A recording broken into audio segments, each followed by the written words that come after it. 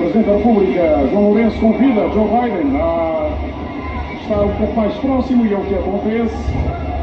E aí está, os dois estadistas pousam agora para a fotografia. É mais uma que fica para a posteridade. Joe Biden e João Lourenço.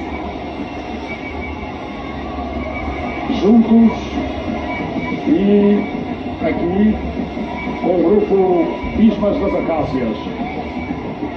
Joe Biden agora está rodeado de elementos puros. Aí está, vai confraternizando, animado, o presidente norte-americano. Obviamente, satisfeito com esta recepção que é feita em representação.